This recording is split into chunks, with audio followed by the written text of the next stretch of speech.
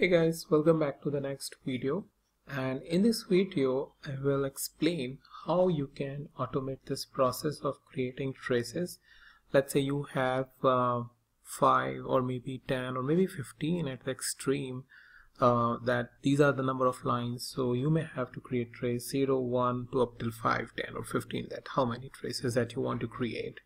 And that is true for other types of charts as well. So how you can automate that piece? Wouldn't it be nice right?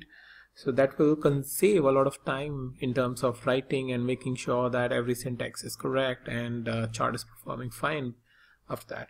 So uh, how we can do that? It's it's basically uh, by using what we call it a list comprehension. So if you don't know what it is I have uh, shown almost like uh, eight videos somewhere around that six or eight.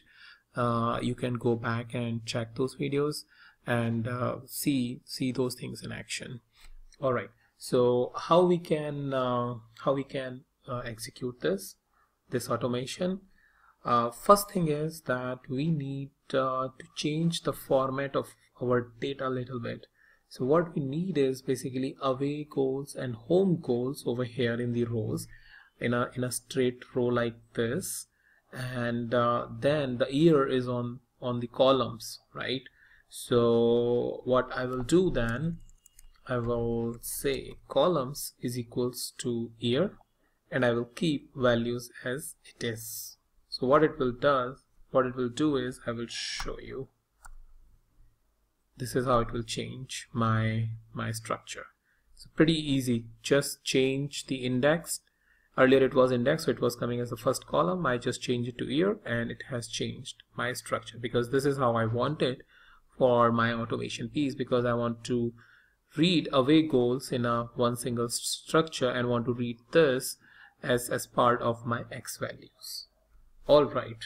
So the next thing is I will just create a column I just pressed the after selecting this I pressed the B that basically creates the row below. So b is what that's what it has uh, uh, the Jupyter has uh, uh you know shortcut of b for creating a row below to the current row or a to create a row up the current row.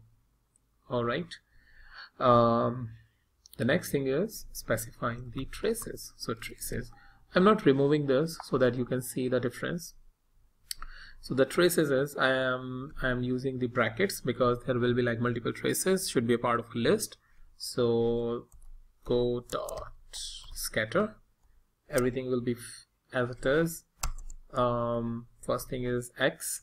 X is uh, your x-axis which is basically the number of years. And these are nothing but the columns. Okay so FIFA underscore hg dot columns.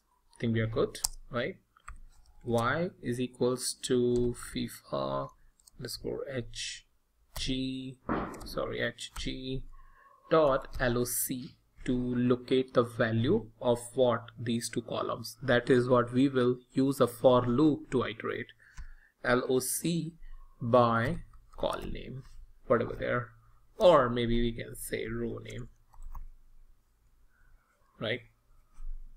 Um, then mode is equals to lines. You can say you want markers plus lines whatever you want right?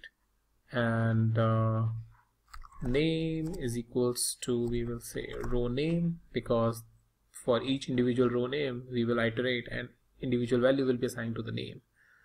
And then we will come over here and we will write the list comprehension formula to, by using the for loop. And that is for row name in FIFA underscore hg dot index. Yeah I think it should be sufficient. Um, just go ahead and execute that. So no issues. That's good I'm not executing this so remember I've, I've kept it as it is but it is not performing anything over here. These two things are happening in this code right now.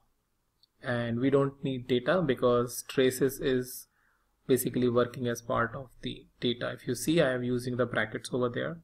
So either I can say data over here which I'm saying it over here.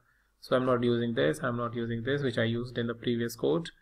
Um, and over here layout is fine. Um, instead of uh, data I will say traces. Layout is layout. Go ahead and execute that. Perfect.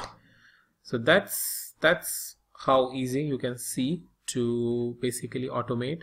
You have 10 15 20 25 and number of lines and your life will be easy. You know you just do one setting at one time and you are done with your with your charts. So that's how you can automate this piece i hope you have found it useful and i'll meet you in the new video with a new topic